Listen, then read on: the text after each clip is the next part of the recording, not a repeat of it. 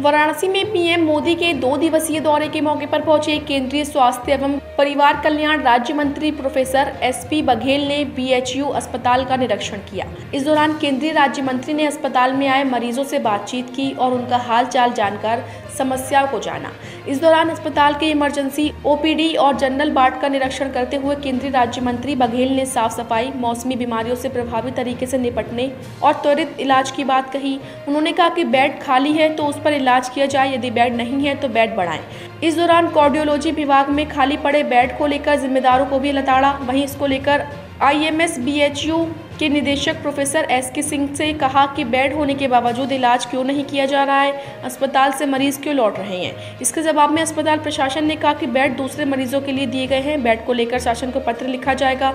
केंद्रीय राज्य मंत्री एस पी बघेल ने कहा कि ब्लड डोनेशन को लेकर कैंप लगाया जाए। और बैंक में ब्लड की उपलब्धता बढ़ाई जाए, हर मरीज़ के परिजन ब्लड के बदले ब्लड डोनेट करें। ब्लड डोनेशन को लेकर शिथिलता ना बरते। मरीज़ के पास ब्लड डोनेटर ना हो और मरीज़ की जान को खतरा हो तो इमरजेंसी व्यवस्था भी सुनिश्चित हो। वहीं निरीक्षण करने वाले प्रतिनिधिमंडल में मंत्री के साथ कैंट विधायक सौरभ श्रीवास्तव और बीजेपी महानगर अध्यक्ष विद्यासागर राय मौजूद रहे।